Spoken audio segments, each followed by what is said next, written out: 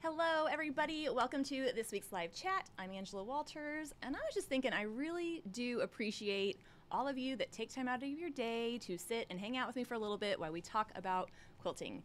Um, I'm here every Thursday, 3 p.m. Central, and even if you can't make it live, no worries. I leave them on my YouTube channel so you can watch them later. But if you make it live, it's even better because you can type your questions out. Jessica's here to write them down and I can answer them for you live so you can get, get all the answers that you need to know. And if I don't know the answer, I'll just make something up. Sound good? All right, in this week's live chat, we're going to be talking about quilting with the Shelly ruler. And so this little gal is a ruler that I designed for machine quilting and it makes a lot of really cool designs and we're going to talk about that. I'm going to show you some quilted samples and even kind of mimic how they came together. But before we get into that, just a couple things about this video or this live chat.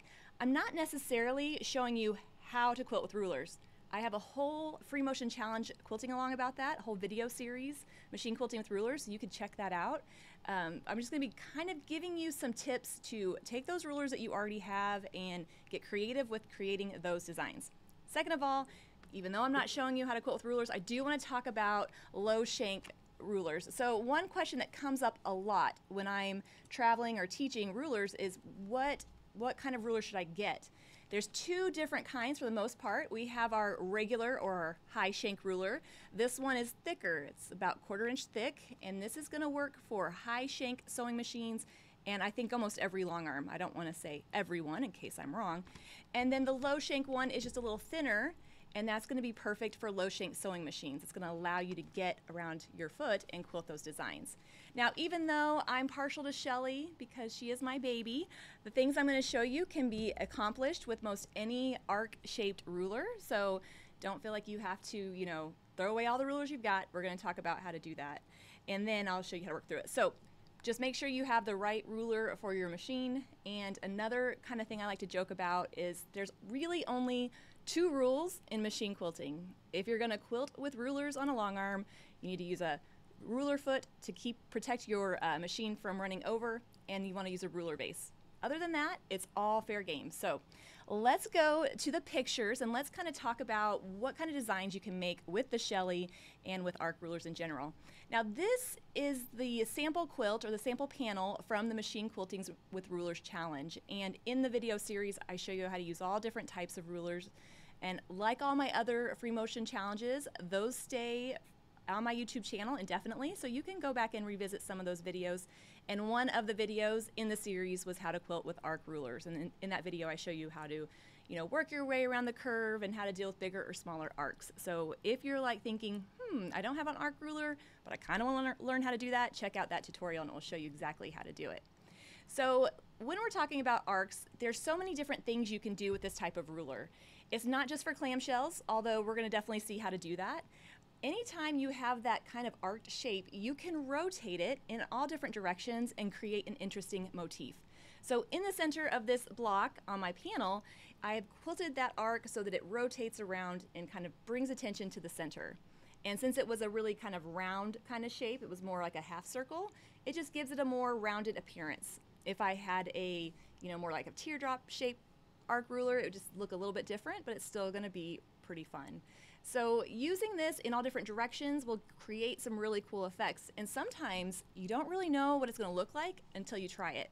So the best kind of advice that I could give is to get a yard of fabric, put it on your long arm, or make a quilt sandwich on your sewing machine, grab a ruler and see just how many ways you can use it to create different designs. Will every one of them turn out great? Nah but you can cut out the good ones and keep them kind of as a design inspiration. In fact, here in a little bit, when I show you the quilted samples, that's exactly what I've done, which is why they're all cut up. I've cut out the bad ones, I'm not gonna show you those, and kept the good ones. So taking that ruler and rotating it in all different directions is a great way to create those motifs and draw attention to the center of your block. You can also use your arc rulers for echoing. So in that pinkish red portion of the block, I've kind of added some of those wider echoes using that arc ruler.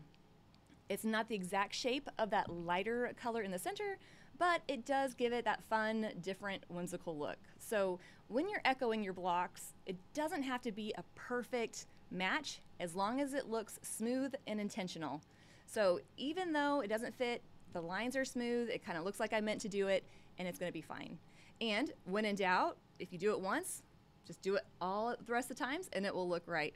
I like to joke once is a mistake, but twice is a design choice. So use it for echoing some of those shapes that you have, especially if you have smaller areas that you want to build up and separate from the filler.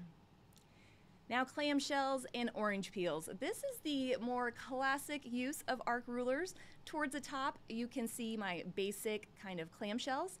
This is a great way to add a soft, kind of curvy look to your quilts, and it's a great way to take a smaller ruler and use it um, as over your whole quilt. Just because you have a, a ruler this size doesn't mean you can't repeat it to create bigger and more interesting effects. But then as we move down, I kind of added a little bit more to those clamshells. The second row has some echoing. So echoing each row is just gonna give it a little bit more detail. It's just gonna draw a little bit more attention to that. Just, just a little fun, little fun variation. And then as you work your way to the bottom, those are our orange peels. Sorry, orange peels. I said that so weird. Um, orange peels are simply a row of arcs and then a second row of arcs that are upside down and offset. And I'm, I've kind of pulled out some diagrams to show you how this goes. So if you're thinking, I don't know what you're talking about, just wait for it. Um, we're gonna definitely see how to do that. All right, so when you're looking at your ruler, there's a couple of terms you're gonna want to know. So reference lines that are on your ruler, especially your Shelly ruler, are there to help you out. They're there to make sure that your designs stay somewhat straight to your quilt or your piecing. And so be sure to look at your ruler and use those to reposition the ruler as you go. And that's going to give you the best results. Now, it's very forgiving. If it slips a little bit or it's not quite right, just keep going. I promise, once the whole area is filled in, you're just going to see that beautiful overall texture. I know you've heard me say that before. So you're definitely going to use those reference lines. Now those needle stops, those little kind of U shapes on both sides are some of my favorite things in the whole world. It's like a little boundary so that when I'm quilting around it, I know exactly when to stop. I don't have to hesitate and worry about going too far. It's gonna give me a clear stopping point and it makes repositioning quick and easy. So Shelly has those. Um, not all rulers do, not all my rulers do either, but if they have it, it's gonna be a little bit more helpful. Now, one thing I do wanna point out about the Shelly ruler that I just love, so when I design the rulers or when I design any rulers, I try to think what do I want and what do I struggle with and how can I make it easier? So on a Shelly ruler, even though that top curve is smaller than the bottom, it actually creates the same size curve when you quilt it. So that is huge. That means I can work from both sides of the ruler so that I don't have to change the position of the ruler to my foot. One of the not I won't say biggest drawbacks, but one of the uh, limitations of quilting with rulers on a long arm is I can't easily move the orientation of my quilt. So if I want to quilt an up upside down arc, I've got to turn the ruler upside down and hold it from behind the foot and then hope I can quilt along it. Being able to just whip the ruler around and do the same on the other side is going to make that so much easier. So if you prefer working from one side of the foot on a long arm or even a sewing machine, then this is going to be the trick for you. All right, so like I said, we're going to talk through the clamshells, a nice kind of soft curvy design. Um, and what I love about this is it kind of lets you quilt your whole area just by working in rows. And after you've quilted your row, your section of clamshells, you could come back in and embellish with other designs or other fillers, or you can come back and add a second row upside down to make our orange peels. So we're gonna see this here in just a second. Now, I've broken this down for you step by step, but I also have the sample here and I'll kind of trace over it so you can see what I'm doing. Orange peels allow you to take that shape, that curve um, ruler, that arc ruler, and allows you to create more dense quilting um, within your area. So the clamshells were a little bit more open, a little less dense, but if I want to quilt something to death, do, adding an extra row is going to create that orange peel effect and be really fun. But one thing that you might not consider arc rulers for is border designs.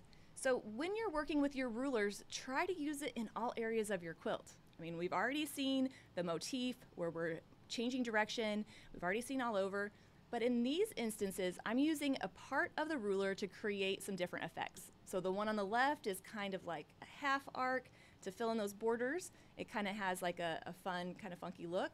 Or the one in the center, I'm combining multiple arcs in different uh, orientations to create a fun whimsical leaf.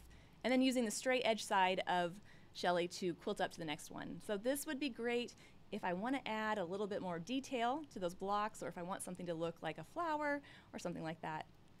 And next over, we can see kind of the circles with partial arcs in it. This is basically just clamshells without adding the extra arcs in every row. So this could be a fun border filler if you have border that fits that size.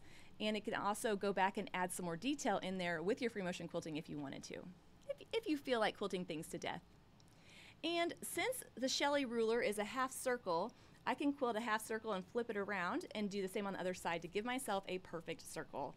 I like this because having one circle ruler is a little tricky to work your way all the way around. Being able to do it in halvesies makes it a little bit easier to um, manipulate and work your way through the quilt. And if you don't like the idea of doing clamshells over the whole quilt, I know it can be a little like intimidating, especially if you're worried about making sure they stay right. Add in a few clusters here and there and then fill in the rest of the area with a different design.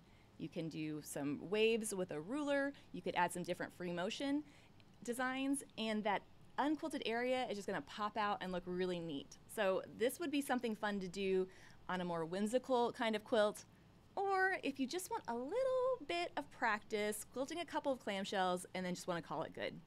So don't feel like you have to commit to one design over the whole quilt because that could be stressful and I don't want you stressing out.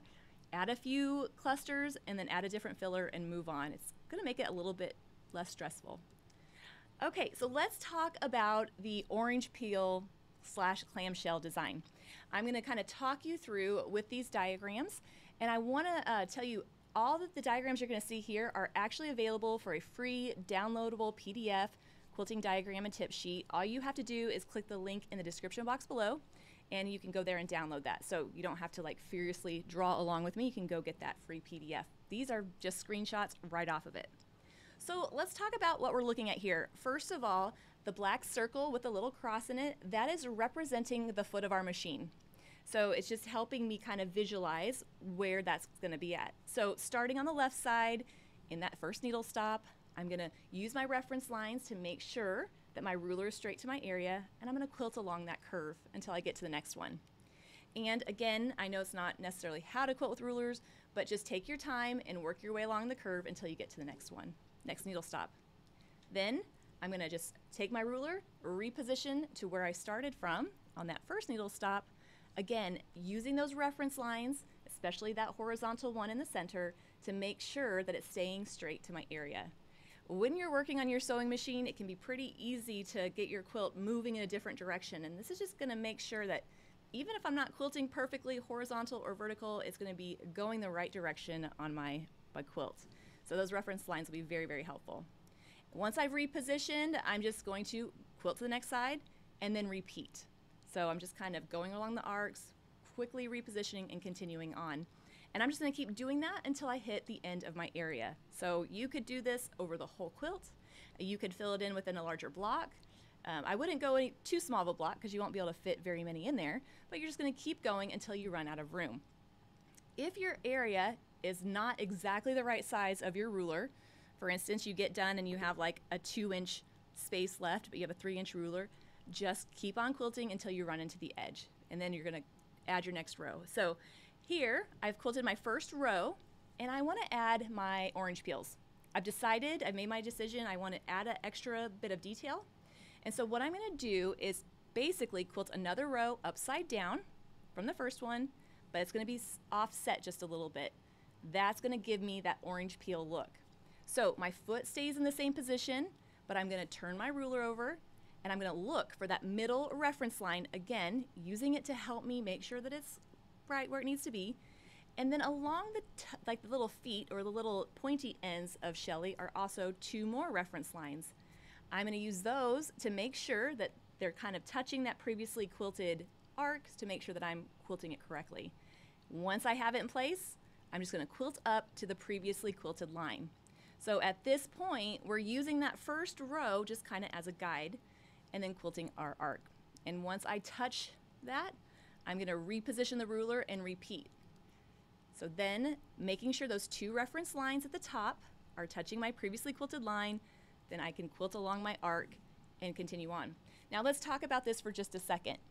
if we notice, since my ruler is flipped upside down, I'm still getting the same size arcs. So this is great. I can work from the same side of my foot. But if you're having trouble quilting without the needle stops, you can simply take the Shelly ruler, move it up, stick it behind your foot, and then quilt from the other side. So you can really kind of tailor it to what makes you feel better, what, what you prefer. Um, on a sewing machine, you could quilt your whole row, turn your quilt, and do the same. Again, on a long arm, not really practical to turn your quilt, so getting comfortable using both sides of Shelly might be the way to go with that. So again, I'm gonna work my way, quilting up to those arcs and repositioning. Main difference here is the re- or the uh, reference lines I'm using are on the little ends of the, of the ruler. And then once I get to my starting point, I have my first row of orange peels. So aren't they beautiful? So pretty. Now this is where I like to sometimes challenge you.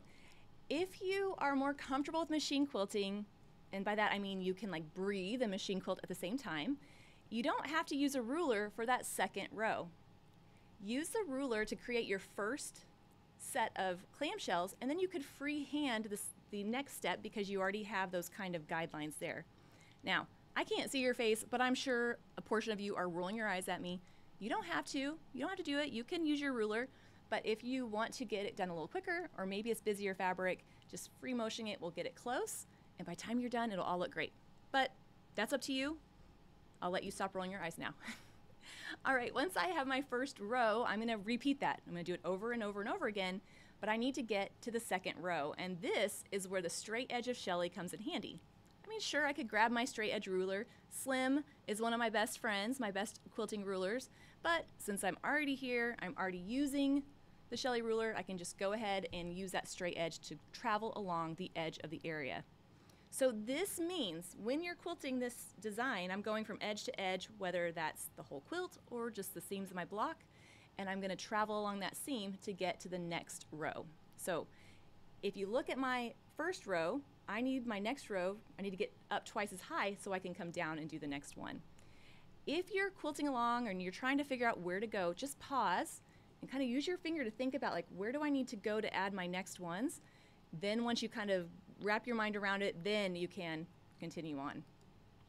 So here I'm going to quilt my next row. It's going to be offset from the very first one I quilted. So that's probably the most difficult thing to remember. I promise though, after a couple rows, this will be no problem. So just don't be too stressed out about the idea. Just download that free quilting diagrams and I'll show you how to do it. So how do I know that I'm in the right spot? Well, I have my horizontal reference line is lined up with my previously quilted row. That's a good sign. And you notice the needle stop is actually about a quarter inch, eighth of an inch below that previously quilted line. Why is that? Well, that's because the foot of the machine, I to take that quarter inch into account. And then I'm going to quilt along into that needle stop and then continue. So just starting that next row it can be a little bit to think about, but once you get started, then you can continue on quilting your next row and then flipping it over and coming back. I promise again after trying this for a few times, a couple rows, it'll be it'll be pretty easy. So let's do this. Let's switch over to my my camera and let's talk about some of these designs because I want to break down how they go together and kind of encourage you when you're working with whether it's your arc ruler or your pointy arc ruler, you can create some fun designs. So this is the sample that we saw earlier. Again, just to reiter reiterate, I can position my ruler. I'm using my reference line to stay with my bottom edge, quilting to my needle stop, and then quickly repositioning and continuing on. All right, so we've already kind of seen that. At this point, I have to decide, do I want to add my orange peels now? Or do I want to skip them? Or do I want to add them later? You don't have to go ahead and add the second part right now. I could come back later and do that, especially if I'm on a sewing machine and it's easy to kind of reposition my quilt. Um, maybe I just start with my first clamshells and decide how I feel about this before I commit to doing them. Um, but whatever you decide, if I decide, oh, I'm going to go ahead and just do my next one, I'm going to again stitch along the side of my ruler, and I'm going to shift it over to the halfway point. Basically, I want that row that I'm quilting now to land halfway in the middle of the arc I quilted previous. Again, it doesn't have to be right on point. I just want to get it somewhere close. But once I get it going, then I can quickly reposition my ruler and then continue working my way along. All right, so then This one will end in a little half C, and I'll go right into my next one. Now, if I'm trying this for the first time, or if you're trying this for the first time, I would get a sample or a piece of fabric and just practice a couple rows before actually using it on the quilt. Uh, but know that if you're filling in an area that doesn't quite perfectly fit the arcs, if I have any little space left above or below, I can just add some echo lines and fill it in. Remember, I've said this so many times, I'm sure you're tired of hearing it, but uh, people will notice a gap in the quilting before they notice an error. So I just want to make sure that everything is filled in. All right, so clamshells slash orange peels. But let's see some of the other things that I showed you and let's talk about how those were created. So here are those circles. Again, if we imagine going around the first, I'll go to this one, the first arc, that's going to be my half circle. And I can either turn my ruler over, do the same on the other side, or work from the same side of my foot and just shift down and create my circle. Um, I find this a lot easier again than just using the circle rulers. It's really, uh, circles aren't hard to quilt, but they're not my favorite. So if I was gonna do something like this, I probably would add a filler or something in there. But you can if you'd like. And this could be a border design or maybe just a way to break up the bigger area of negative space and throw a different design in there. Just, just a fun little, little deal. All right, let's talk about those border designs that we were kind of looking at. First of all, here I have just some echoed arcs, and that was a question that came through on the text chat before we started. How do you keep your echoes consistent with your arcs? So let's talk about that. This is a great way to give a curvy look to a border or an area of your quilt. And even though this fake border just so happens to perfectly fit my ruler, I could use it in a narrower border as well as long as I keep it centered. So using that center reference line is going to help make sure that happens. So the trick with echoing arcs is once you quilt it, it's very deceiving um, lining up the next one. So if I quilt my arc, I'm not going to look at that previous one. I'm just going to travel up the side however much spacing I want, whether it's a quarter inch or a half of an inch, then reposition, and then quilt my next arc, right? So I'm not, it, it, sometimes it can be hard to look at the previously quilted one and know where to put your next echo. But I did add a couple of reference lines for those arcs so that if you were doing something like this, you could use those previously quilted lines. But for the most part, I'm just going along the edge and then repositioning and working my way up. This, like I said, a great way to add a curvy look to, the, to a bigger border, but not necessarily I mean, I guess you could do that over the whole quilt, but not necessarily something I would do over the whole quilt. Now remember this little guy we saw. Um, I like to joke just because you paid for the whole ruler doesn't mean you have to use the whole thing. So when you're working with your arcs, think about what kind of designs you could make if you just use part of the ruler or part of the arc. In this particular example, I'm quilting a half arc. So I'm going up to that middle reference line, but then backtracking until I'm about to the center of this whole area. So we can see here going up and then backtracking. Now, if traveling or stitching along a previously quilted line makes you a little nervous, don't be. Because if I'm leaving this ruler in place, I can just quilt up and come right back and it's gonna be pretty close.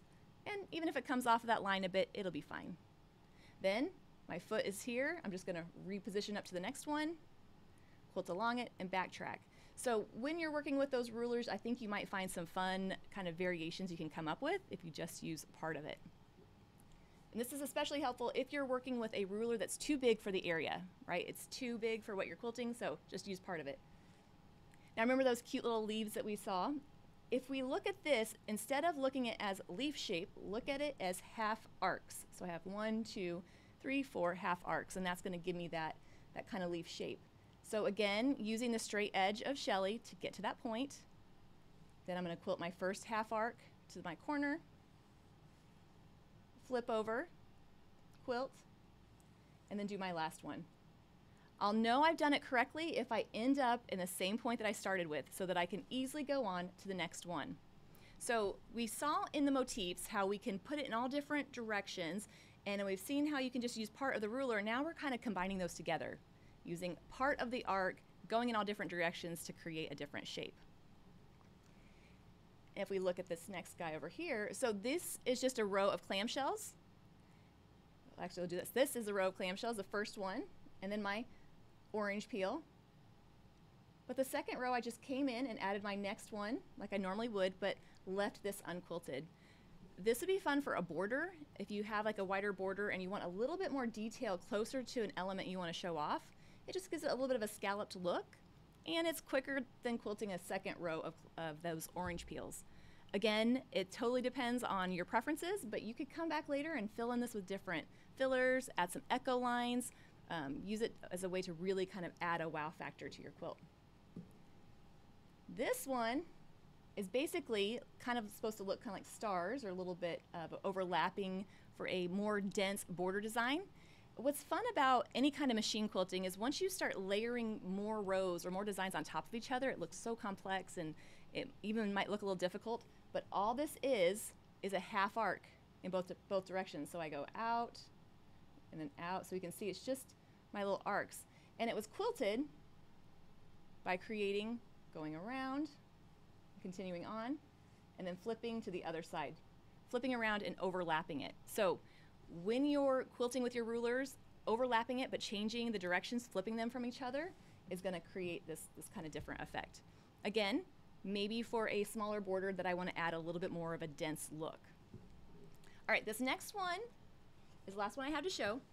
And it may look complicated, but I love how it looks as an all over kind of design. And it just goes to show you when you string together multiple shapes, you're going to get a different effect. So this particular design is actually a row, let me go down here, a row of arcs going one direction and a row of arcs going the other direction. So think of it like crosshatch, right? Where I just have rows, straight lines going both different directions. The illusion that it looks more difficult is just because I'm using my arc ruler. So let's pretend I start here, I'm quilting my arc. My next one is gonna go in the opposite direction. So I'm working on this line right here. So I'm basically just quilting, and instead of those clamshells where they're all going the same direction, I'm alternating the direction as I go. Okay, so up, down, up, down. And then once I get to the edge of my area, I'm gonna quilt another clamshell going now the opposite direction or along the edge to get to my next row. That's gonna help keep them spaced out the same amount, uh, but you could also just travel along if you wanted to and then repeat. So again, flipping it over. Now, you might be thinking, oh, I can never remember this. Remember, when you get to your fabric and you're going to start quilting with your rulers and have a good time, try alternating directions and going in different ways. I think you'll find that's fun. Now, once I have a couple of these quilted, so here's my first wavy line right there. I should have quilted these in different colors so you can see it. Now I'm going to start quilting my row in my different direction. So there's my first one second one, and third one. And as they start to overlap, it's going to make a really cool kind of uh, kind of effect. Again, you might think, "Oh, I don't know if I want to do that." Well, you can just you can just quilt one direction, and it's just going to give you this kind of um, area that gets bigger and smaller that you can come back in later and fill in if you want. But the main idea being that no matter which ruler you're using, I hope that you'll go in all different directions and kind of experiment because that's when you'll find those fun, um, unintentional designs. So, any questions come through? Got a few about the about the arcs. Again, if you're not watching this live eh, or I didn't get to your question, no worries. Leave it in the comment section because I get on from time to time and answer questions, and other quilters are really great about helping out. Is there a ruler that can help me quilt a cable design in my border? Yes, you can actually do that with an arc ruler because it's a cable is just kind of continuing on, but just echoing. So what you'll do, and maybe I'll have to do this in a live chat, um, you're going to quilt a couple of rows, go in the same echoed, and then the next ones you'll flip around so that they cross over. So I know that this is not helping you out, but any kind of arc ruler will do that. I will say um, cable designs have such an elegant look and it's such a nice traditional design, but try to go with a little bit bigger um, ruler because it can be kind of tedious to keep changing position. So you didn't ask that question, but I answered it for you. Um, do I normally quilt these side by side with the ruler on the bottom? Um, so when I'm quilting on my sewing machine, I prefer to work vertically. So instead of holding my ruler like this, I'm actually going to turn to the side and work like this. That's just because that's how I prefer to quilt. Now, that doesn't mean that I only can quilt it that way on my quilt sandwich. I can reposition my quilt sandwich to get it where I need to so I can quilt it the way I want to. So I, I prefer to go vertically. You might find horizontal easier though because you can see your path a little bit easier. I just hate having to stop so often as I run into my machine. Now on a long arm, I will quilt these um, in horizontal motion because that's just the easier way. But what about quilting clamshells on a long arm, right? If we're starting at the bottom and working our way up, that's not very ideal. Well, what I would do is either load the quilt upside down, probably load the quilt upside down and quilt them, start upside down and build in that way. So just slightly different. Again, not the question you asked, but ultimately, as you're playing with your rulers and you're trying to find some different designs that you like to quilt with them, just try all different directions and find which feels more comfortable for you. You'll know pretty quick if you like something or not. When are my new rulers coming out? I don't know. They're supposed to be out in October. Um, they've went to production. I am so excited to show them to you. I emailed Creative Grids. I was like, hey, is there an ETA? I want to tell people about it. So as soon as I can tell you, I'll let you know. I'm excited to show those to you. And then when is the next free motion quilting challenge? I love that you guys are so excited about doing these challenges with me or these kind of, I mean, it's almost like a, a six part class. Um, I'm working on the next challenge right now and hopefully, hopefully be out in the next month or so. Hopefully, we'll see.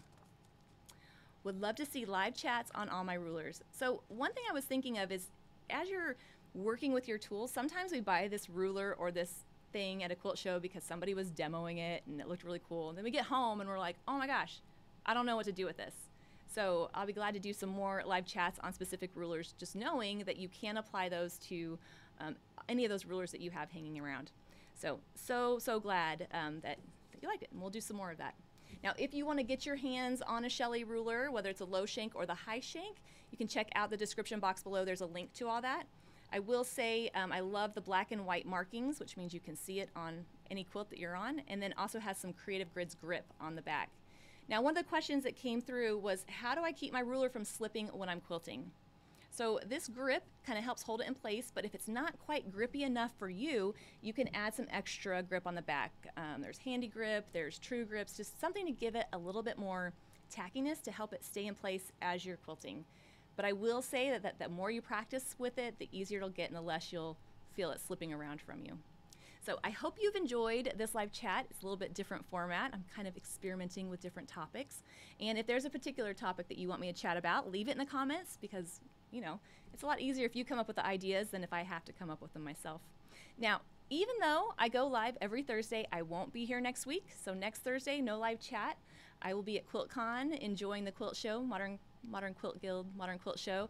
It'll be the first show that I have attended, I think, ever when I wasn't working or demoing or anything. I'm going just as a an attendee. I'm super excited to see the quilts. So I won't be here next Thursday, but the Thursday after we will resume the live chat with another uh, topic at on Thursday at 3 p.m. Central. So everybody stay safe, stay healthy, and I look forward to seeing you in two weeks.